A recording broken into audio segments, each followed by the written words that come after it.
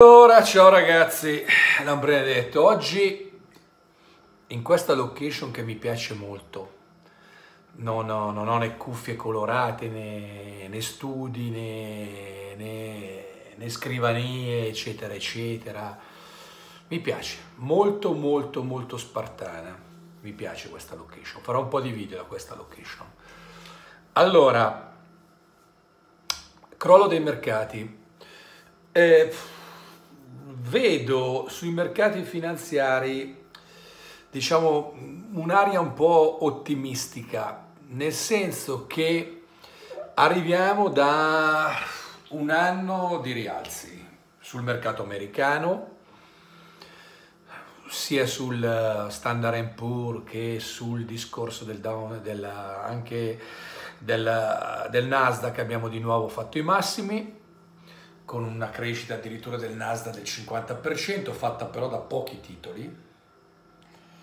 Non siamo in una fase di bolla eh, assurda come è successo nel, 2008, nel 2000, scusate, quando è scoppiata poi la bolla della dot.com, i mercati poi sono venuti giù per tre anni, ma lì avevamo raggiunto dei livelli di follia ancora più alti probabilmente di questi come rapporto utili e valori delle azioni. Sul mercato italiano non abbiamo, siamo una delle poche borse probabilmente perché l'America è andata a fare i massimi,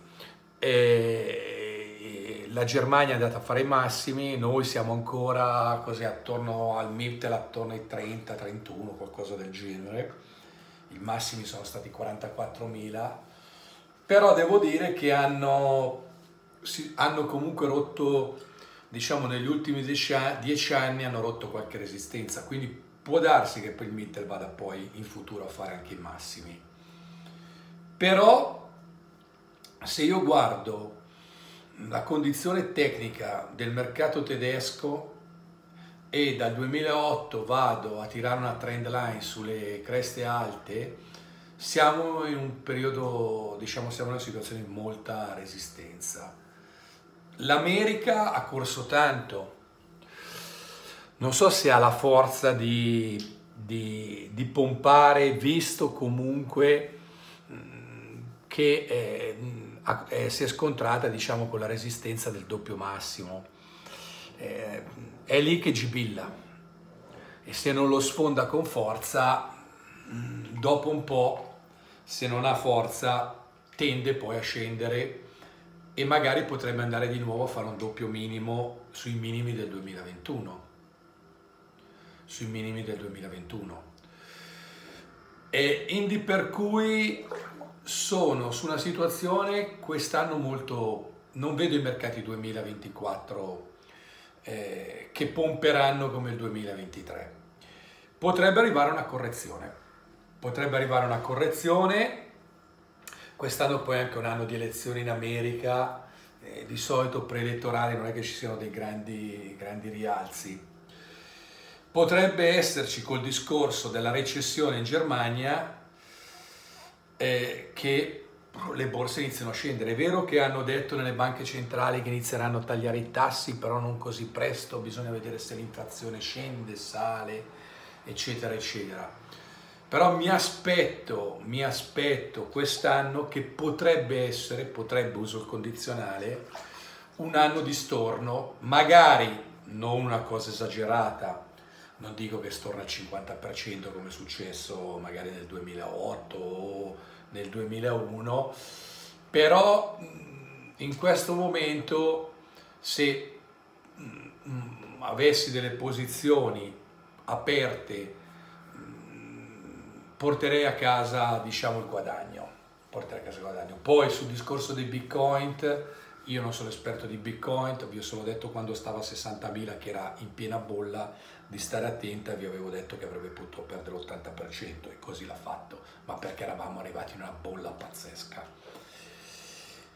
Non siamo in una bolla esagerata a livello borsistico, però siamo, siamo a livello di scontrarsi con delle resistenze.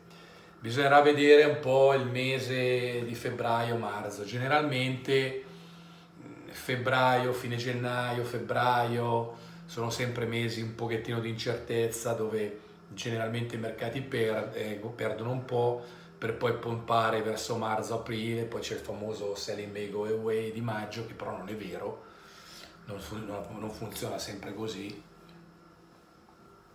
E per poi stornare. Potrebbero eh, iniziare dei ribassi, quindi dal mio punto di vista io starei attenti, potrebbero partire anche già a breve, potrebbero già a breve, eh, è anche diciamo fisiologico e eh, sano una, uno storno che potrebbe essere anche magari attorno al 10-15%, magari anche all'8%, non lo so, però in questo momento io, io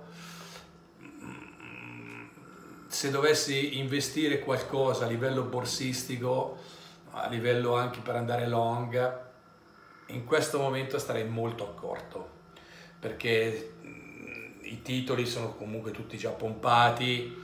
Eh, era forse meglio entrare ai tempi quando, nel 2022 quando avevamo toccato il minimo. Oggi molti titoli hanno corso, sono tornati di nuovo a fare i massimi, alcuni anche più dei massimi e, e sono belli pompati anzi probabilmente aprirei più delle posizioni short che neanche long in questo momento sui mercati finanziari. Secondo me eh, a, breve, a breve potrebbe arrivare, potrebbe arrivare uno storno, magari già dalle prossime settimane, eh, con ovviamente dei rimbalzi. Eh, poi se dovesse invece succedere che eh, dopo un periodo di incertezza che è iniziato da praticamente inizio anno, dal primo di gennaio, se dovesse invece succedere che eh, i, i, i, massimi, doppio massimo sul Nasdaq, sullo Standard Poor's, anche su, su, sull'Italia, venga, viene rotto con decisione, ma deve essere rotto con decisione, non deve essere una, una falsa rottura, allora se a questo punto spacca in maniera forte e sale, allora eh, potremmo, po- potrebbero esserci altri, altri 10, 15, magari 20% di rialzo. Eh, dopo che ha rotto, generalmente va a ritestare la, dal basso, dall'alto, lo va a ritestare la trend line, la trend, diciamo, la trend line, la linea di, di resistenza e per poi dopo ripartire, cioè se lo spacca forte che va giù lo ritocca e poi riparte.